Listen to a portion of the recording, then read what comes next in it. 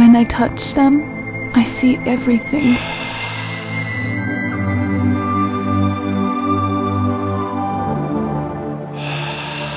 To know me is to die.